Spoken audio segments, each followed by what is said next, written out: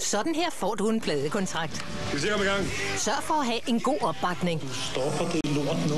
God økonomi. Ved du hvad, vi kan give dig 320 kroner en togbillet. Et godt band. Du tager for meget dope. Ja, men jeg har heldigvis ikke taget skade, vel? En charmerende sangerinde. Det er nogle sexleje, ikke? De lyder lidt alvorligere, end de er. Og et rigtig fedt navn. Brainstorm. Vi bare røv, mand. Thomas Bo Larsen, Lene Maria Christensen og Jimmy Jørgensen. Og det er fucking hårdt. Store planer i aften kl. 21 på TV2. En god film uden afbrydelser.